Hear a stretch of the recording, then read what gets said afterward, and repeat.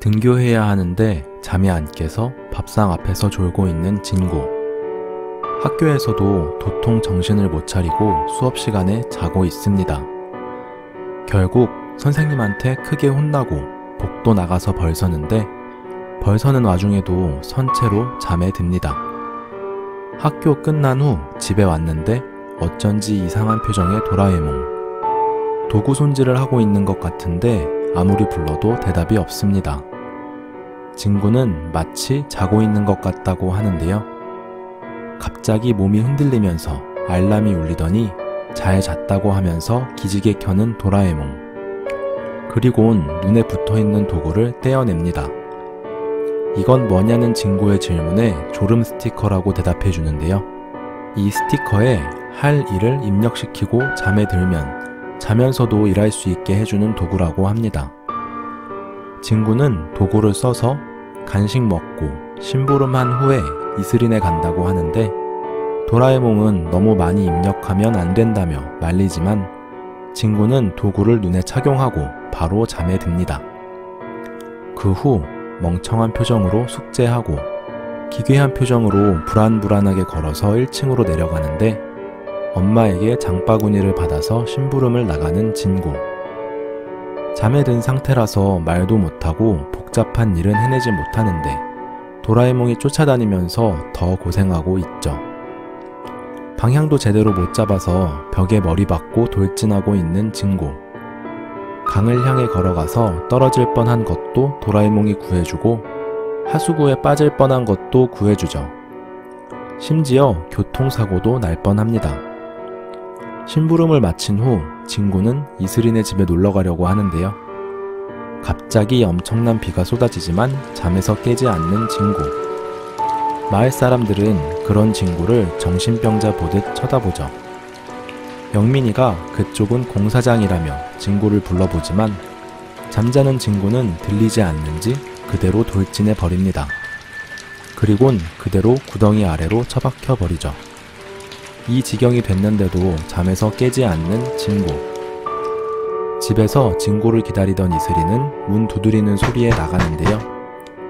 초인종을 누르진 않고 문 앞에서 서성이기만 하는 그림자. 문을 연 이슬이는 충격적인 모습의 진구와 만나게 됩니다. 잠자면서 행동하는 도구라니 완전 목류병 생성 도구 같은데요. 집 안에서만 사용한다고 해도 다칠 위험이 있는 도구인 것 같네요. 퉁퉁이가 빌려간 500원을 갚지 않는다고 하는 진구. 도라에몽은 강제 현금 카드라는 도구를 꺼내주는데요. 이 구멍으로 상대를 보면서 금액을 말하면 돈이 나온다고 합니다. 비밀번호만 설정하면 된다고 하는 도라에몽. 비밀번호를 정하고 퉁퉁이를 향해서 500원을 말하는데요. 거짓말처럼 500원이 카드에서 나옵니다. 그 후 퉁퉁이한테서 돈 빼는 걸 본 비실이는 빌려달라고 협박하는데 진구가 비밀번호를 알려주지 않자 스스로 추리한 후 진구한테서 강제로 천원을 뽑아냅니다. 자신한테 10원도 없는데 천원이 나왔다며 신기해하는 진구. 그 후 이슬이 시켜서 자기 자신한테서 8천원을 뽑고 신나서 쇼핑하러 갑니다. 그때 퉁퉁이가 길에서 500원을 줍지만 500원이 퉁퉁이 손에 들어가자 순식간에 사라지는 걸 목격합니다. 도라에몽은 미래의 수익을 미리 당겨서 쓰는 도구라고 설명하고 그 후 미래의 친구들이 항의하면서 에피소드는 끝나는데요.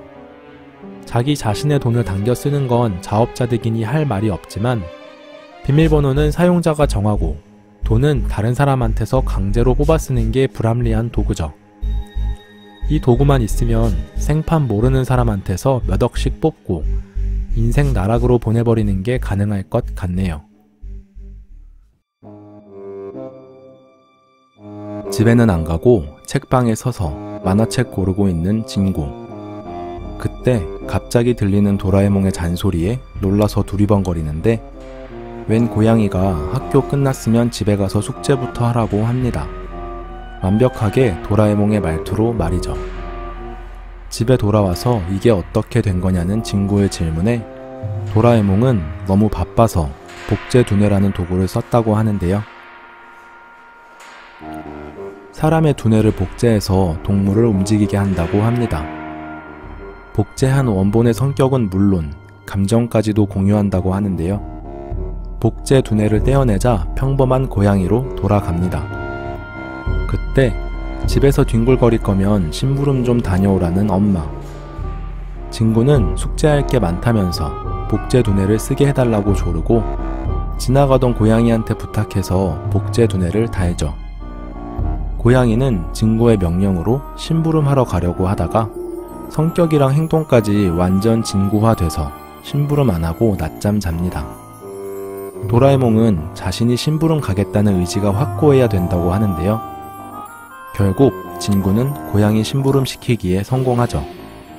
심부름 마친 후 기분 좋은 진구는 고양이랑 외출하는데요. 오늘도 어김없이 퉁퉁이한테 씹이 털리고 힘이 약한 고양이는 진구만 내버려 두고 잽싸게 도망칩니다.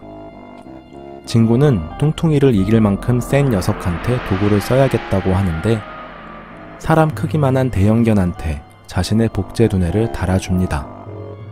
그리고 퉁퉁이를 개 패듯이 패주죠.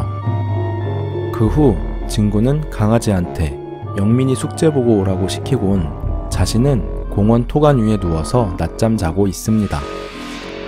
도라에몽은 진구에게 복제 두뇌 어디 있냐고 묻는데요. 강아지한테 달아준 후 심부름 시켰다고 하는 진구.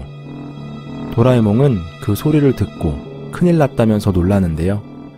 복제 두뇌를 달고 4시간 이상 있으면 삶을 빼앗긴다고 합니다. 복제 두뇌가 강아지를 지배하게 되면 진구 말을 안 듣고 강아지가 진구 그 자체가 되어버린다고 하죠. 그 후 온 동네를 뒤지며 강아지를 찾으러 다니는 진구와 도라에몽. 이슬인에 있다가 돌아갔다는 소리를 듣고 집으로 가는데요. 엄마는 놀란 얼굴로 웬 큰 개가 자신이 진구라고 하면서 방으로 갔다고 합니다.